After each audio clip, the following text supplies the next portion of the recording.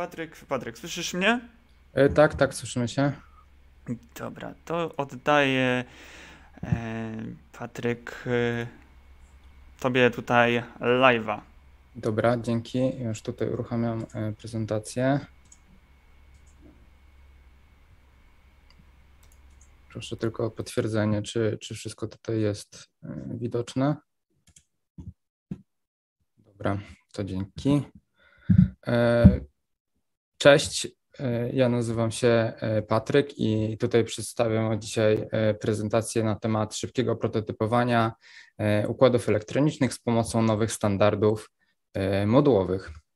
E, na co dzień pracuję w, pewnie w niektórym z Was znanym sklepie e, Botland, gdzie, gdzie jestem produkt managerem i zajmuję się dodawaniem nowości oraz nowych dostawców do, do naszego sklepu. Ukończyłem automatykę i robotykę na Politechnice E, białostockiej. E, tutaj też zaznaczę, że nie jest to moje pierwsze wystąpienie na Arduino i Raspberry Pi Day, e, bo dwa lata temu, w 2020 roku, miałem swoją prelekcję na temat właśnie komunikacji i współpracy robotów mobilnych. Na co dzień interesuję się robotyką mobilną, fotografią, śledzę nowinki technologiczne, natomiast w wolnych chwilach lubię napić się dobrej kawy. E, tematem e, prezentacji e, będą moduły, standardy modułowe, za pomocą których można prototypować i postaram się tutaj przedstawić oraz porównać kilka najpopularniejszych standardów modułowych, czyli Groove, Gravity, Quick, Stema, Stema Qt, od tak naprawdę największych producentów modułów czy elementów elektronicznych dla, dla hobbystów czy E, makerów. E, co to są w ogóle standardy modułowe? Można powiedzieć, że są to e, grupy modułów elektronicznych, które posiadają ustandaryzowane złącze oraz wyprowadzenia, co pozwala na, na szybsze tworzenie układów poprzez łączenie tych elementów ze sobą tu pewnie się e, gdzieś e, rodzi pytanie, dlaczego warto używać takich standardów modułowych? Przecież możemy e, skupić elementy, zrobić je na płytce stykowej i dlaczego w ogóle po co? No to ja tutaj powiem, że na pewno prototypowanie za pomocą takich układów, które mają ustandaryzowane tyczki, jest dużo szybsze. Tak, bierzemy kilka, kilka tych naszych modułów, łączymy je ze sobą i i już nasz układ jest gotowy i możemy przejść do, e, do jego programowania. I tutaj programowanie też jest e, ułatwione, ponieważ e, producenci udostępniają do swoich modułów przykładowe programy, przykładowe użycie tych czujników czy, czy modułów, co, co jeszcze, jeszcze bardziej przyspiesza gdzieś stworzenie naszego końcowego modułu.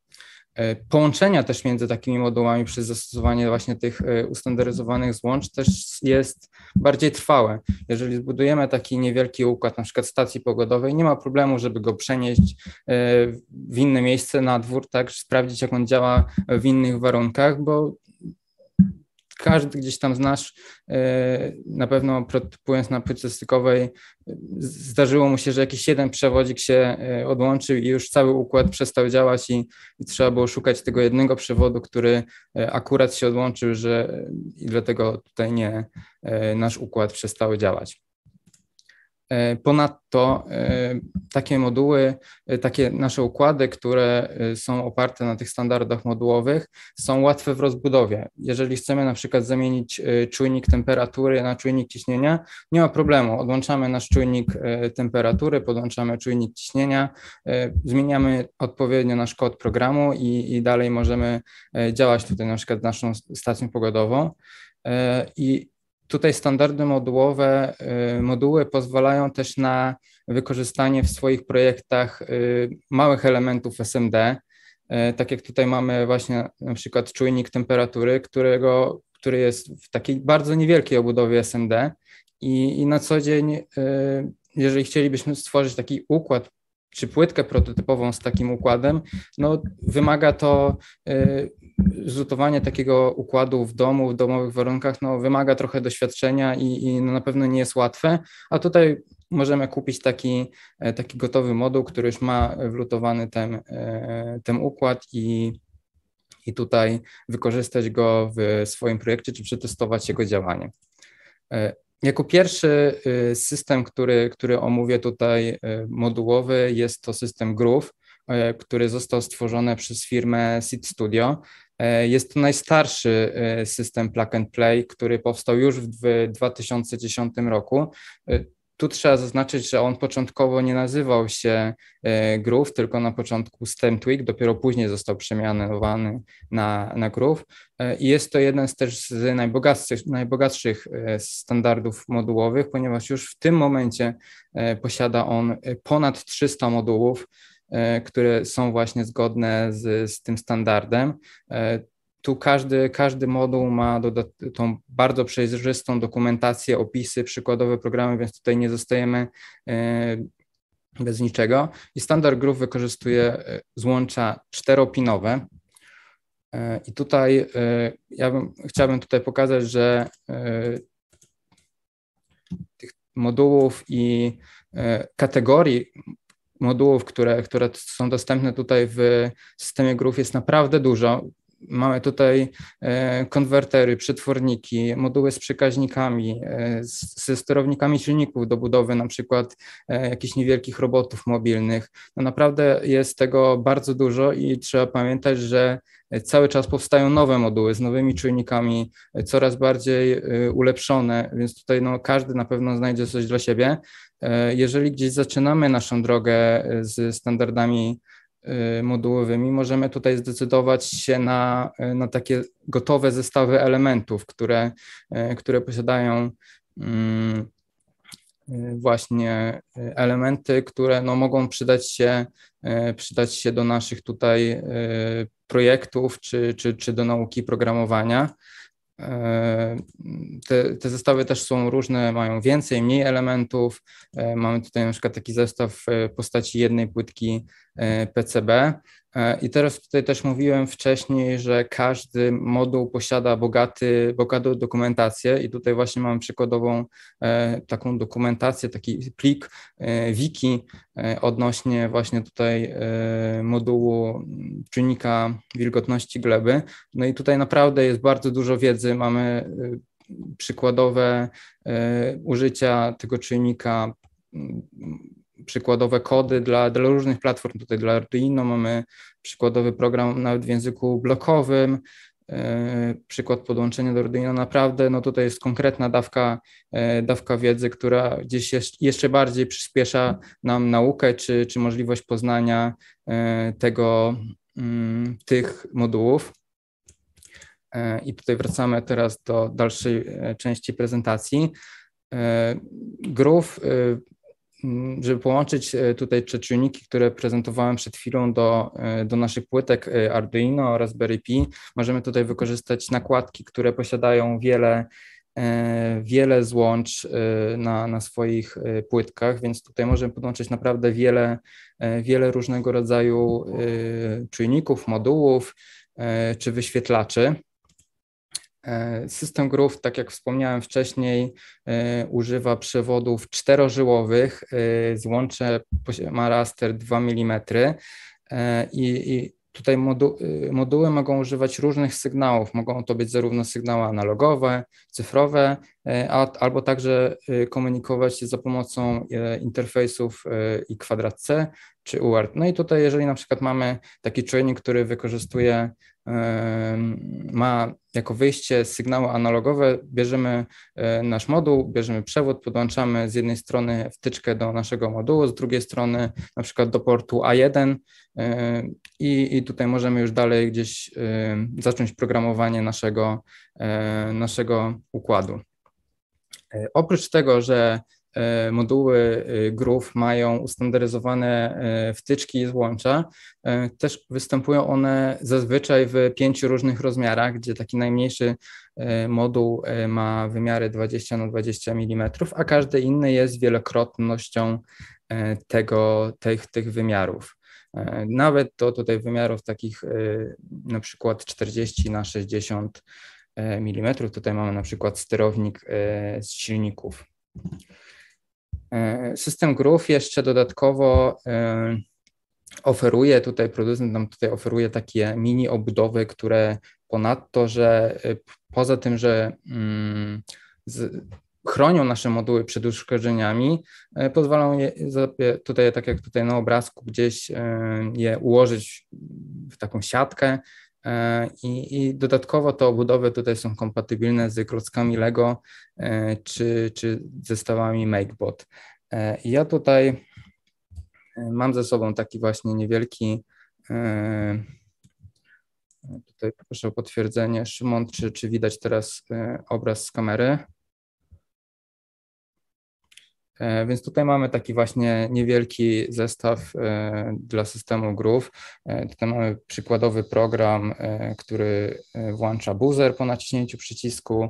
Mamy regulację jasności diody za pomocą potencjometru. No i mamy tutaj jakiś tam przykładowy tekst na, na wyświetlaczu. No tutaj oprócz tego tutaj trzeba pamiętać, że te, te elementy, tutaj te poszczególne moduły e, na płytce możemy tutaj wyjąć z tej, tej płytki i korzystać z nich niezależnie e, na tej płytce.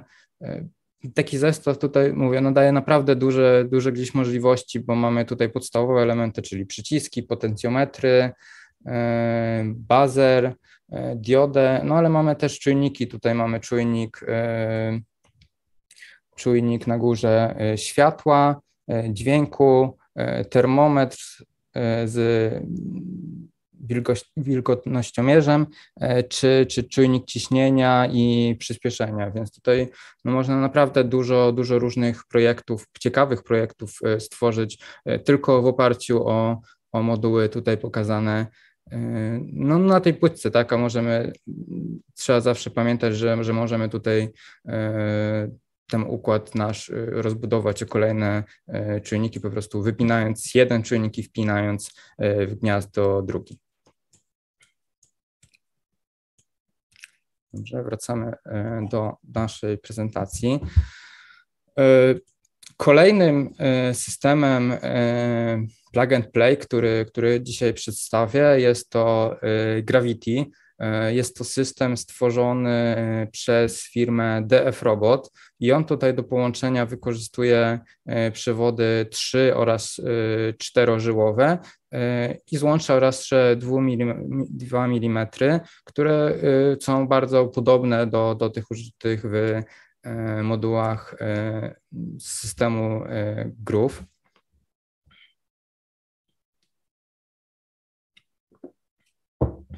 Tutaj producent y, też nie zostawił nas y, samych sobie, też do każdego z modułów jest y, dostępna obszerna dokumentacja, dostępne są przykładowe programy użycia.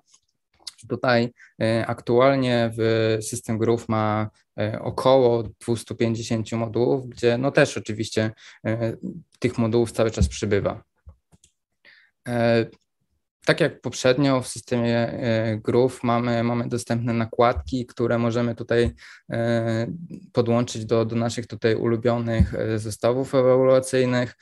Mamy tutaj na przykład płytkę dla, dla Arduino Uno, czy, czy na przykład dla Microbita i do Microbita też możemy podłączać nasze moduły Gravity. Tak jak wspomniałem, y, Gravity y, wykorzystuje do połączenia z czujnikami przewody 3 i 4-żyłowe. 3-żyłowe są wykorzystywane w modułach, które y, mają na przykład wyprowadzenie jako wyjście sygnał analogowy, cyfrowy, czy, czy, czy gdzieś potrzebują sygnału PWM. Natomiast czterożyłowe przewody wykorzystywane są dla modułów z interfejsem i kwadrat C lub UART przeciwieństwie do, do Groove, y, Gravity wykorzystuje, z jednej strony jest właśnie złącze y, to y, JST pH oraz 3,2 mm, natomiast z drugiej strony mamy gold, żeńskie, złącze żeńskie Goldpin. Tutaj w łatwy sposób możemy dowiedzieć się, jaki, jaki przewód czy, czy jaki interfejs na, ma nasz, nasz, nasz moduł. Ponieważ właśnie na płytkach jest oznaczenie, czy, czy tutaj jest właśnie wyjście analogowe, wyjście cyfrowe, czy, czy tutaj po prawej stronie mamy dwa moduły, które wykorzystują interfejsy, czy to UART, czy i kwadrat C, więc tutaj no nie ma, nie ma tutaj mm, problemu, żeby wiedzieć jaki, jaki przewód, czy do jakiego złącza podłączyć na płytce, a jeżeli mówimy tutaj o złączach, E, no to e, te nakładki, które, które oferuje tutaj nam e, producent, mają takie same kolory jak przewody. Znaczy, jeżeli na przykład mamy czynniki analogowe, tutaj przewody mają kolory czerwony, czarny, niebieski, no i tutaj analogicznie podłączamy je w tym miejscu, bo tutaj mamy literkę i żeby tutaj podłączyć te sygnały z czynników analogowych, jeżeli mamy właśnie e, moduły z interfejsem i kwadrat lub UART, to możemy je podłączyć tutaj w tym miejscu. Mamy taką przeznaczoną do tego kostkę, mm, goldpiny.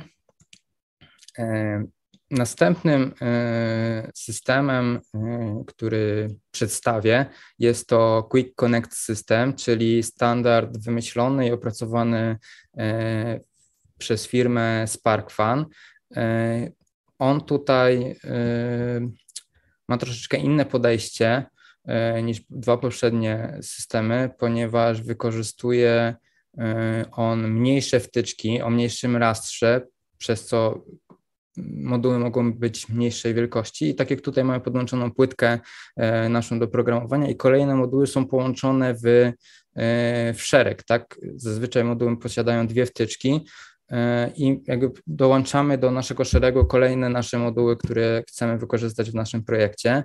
E, w tym systemie do komunikacji między modułami e, wykorzystywany jest tylko interfejs i kwadrat C. No i te wtyczki są spolaryzowane, czyli no nie ma możliwości, żeby podłączyć je w inny sposób niż nam to, niż to wymyślił producent. E, tutaj e, firma e, SparkFun przygotowała oprócz przygotowała tutaj dla nas płytki, które już mają wbudowane tutaj te złącze Quick. Przez to, że, że te moduły wykorzystują interfejs e, do komunikacji, interfejs i kwadrat C, no wystarczy tak naprawdę jedno, e, jedno złącze na takie płytce, bo, no, bo możemy do tego jednego złącza podłączyć naprawdę wiele, wiele czynników w, w szeregu. No ale też jeżeli nie chcemy tutaj korzystać z płytek, które przygotował nam producent, czy tylko na przykład wykorzystać już nasze e, Arduino czy Raspberry Pi, no to możemy tutaj wykorzystać e, nakładki, które właśnie no mają, e, mają te, te złącza Quick już tutaj wbudowane. Tutaj na przykład też ciekawostką jest, że możemy, no istnieje takie rozszerzenie też na przykład dla mini komputera w kształcie, w postaci klawiatury, czyli dla Raspberry Pi 400. Quick e, ze względu na, na miniaturyzację i, i, i, mniejsze moduły wykorzystuje złącze o rastrze 1 mm. Są to bardzo niewielkie złącza. E, Oczywiście tutaj nie, nie musimy, mm, jeżeli chcemy na przykład wykorzystać czy sprawdzić, e, na przykład interesuje nas jakiś czujnik z tego systemu, a nie chcemy tutaj inwestować w, w nakładki czy w płytki, które przygotował dla nas producent, możemy tutaj użyć takiej przejściówki, która pozwala na podłączenie tego naszego modułu do na przykład płytki stykowej czy do jakiegoś istniejącego już zestawu. E, I ostatnim standardem, ostatnimi standardami, które, które mi tutaj dzisiaj e, przedstawię, są to standardy STEMA oraz STEMA QT, e, które zostały stworzone przez firmę SparkFun. I STEMA jest tutaj starszym systemem, który powstał już w 2014 roku i on wykorzystuje do komunikacji przewody 3 i 4 żyłowe i złącze JST E, pH o rastrze 2 mm. Jest to takie same złącze e, jak w na przykład systemie Gravity, ponieważ e, tutaj mm, gdzieś inżynierowie z Adafruit wtedy, jak tworzyli ten system, właśnie zakładali, że te systemy, czyli Stema i Groove, będą ze sobą w jakiś sposób kompatybilne, dlatego tutaj zdecydowano się na użycie takiego gniazda. Natomiast e, Stema Qt powstał w 2017 roku. E, no i tutaj też z uwagi na, na, na zmniejszenie e, wymiarów tych poszczególnych modułów wykorzystuje on mniejsze złącze o lastrze 1 mm i jest to złącze czteropinowe i jest to dokładnie to samo złącze, które jest wykorzystywane w, w, w standardzie Quick i również do komunikacji wykorzystuje interfejs y, i kwadrat C.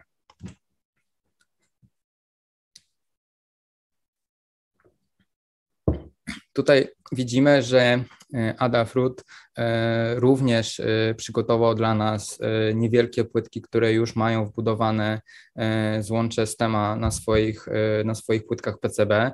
No i też tutaj możemy właśnie podłączyć te moduły szeregowe, więc tutaj możemy tworzyć i rozbudowywać e, o naprawdę wiele, wiele e, tych naszych e, modułów. Systema wykorzystuje przewody trzyżyłowe dla modułów z wejściem, z wyjściem, wejściem cyfrowym, analogowym czy, czy sygnałem PWM i są to przewody czterożyłowe, a natomiast przepraszam, przewody czterożyłowe wykorzystują moduły, które właśnie mają e, komunikację za pomocą interfejsu i kwadrat C. E, natomiast e, Stema Qt wykorzystuje przewody, jedynie przewody czterożyłowe, właśnie z tym mniejszym złączem o, o raz 1 mm i, i wykorzystuje do komunikacji interfejs i kwadrat C. E, tutaj pewnie wielu z was, z was zrodziło się w głowach pytanie, czy, czy, czy można połączyć e, mm, moduły różnych standardów i odpowiedź jest e, jak najbardziej pozytywna. Istnieją na, na, na rynku tutaj dostępne przejściówki czy adaptery w postaci albo tutaj takich modułów, albo płyt, albo przewodów, które z jednej strony na przykład mają złącze systemu Gravity, E, a z drugiej, e, przepraszam, na przykład Groove i Quick, tak? Możemy podłączyć te dwa różne moduły ze sobą i, i tutaj nie ma, nie ma tutaj mm, problemu. E, jedynie mm, tutaj przedstawiam taką tabelkę porównawczą, która, która przedstawia wszystkie tutaj opisane, omówione przeze mnie dzisiaj standardy. I tutaj na, na żółto zaznaczyłem dwa, dwa takie standardy, czyli Quick i Stema Qt. E, ponieważ e, przez one są ze sobą najbardziej kompatybilne, bo wykorzystują po pierwsze e, te same złącza, i mamy tutaj też ten sam interfejs, czyli i kwadrat C. Tutaj jedyna taka uwaga jest taka, że standard Quick w 100% wykorzystuje do, do swoich modułów i płytek zasilanie 3,3 V i też to jest napięcie 3,3 V, napięcie logiczne. Natomiast y, Stema Qt wykorzystuje, y, może, pracować z napięciem 3 y, od, od 3 do 5 V, więc tutaj musimy mm, patrzeć i zwracać uwagę na to napięcie, ale tutaj poza tym mm, no jest to jest to ułatwione. Oczywiście Istnieją inne też e, standardy modułowe. E, ja tutaj w, podczas mojej dzisiejszej e, prezentacji skupiłem się mm, na tych najbardziej najbardziej popularnych, ale też istnieją inne, inne równie ciekawe standardy. Tutaj mamy pokazany moduł firmy M5, M5 Stack, E, które tutaj umożliwia tworzenie e, modułów przez nakładanie kolejnych e, modułów na siebie, tworzenie takiej, można powiedzieć, kanapki i to jest bardzo ciekawe gdzieś podejście inne niż, niż tutaj prezentowane podczas dzisiejszej prezentacji i mamy tutaj też przykładowy moduł systemu Garden od Pimoroni. I Podsumowując dzisiejszą, dzisiejszą prezentację, E, każdy tak naprawdę z opisanych standardów, omówionych standardów modułowych jest, jest OK. Tak? I czy to wybierzemy Groove, czy Gravity, czy Quick, czy Stema, tak naprawdę zależy tylko od nas. Tutaj nie ma, nie ma ograniczeń, możemy, możemy wybrać to, co nam tutaj najbardziej pasuje. E, może na przykład w jednym z standardów jest, e, jest jakiś e, czujnik, sensor,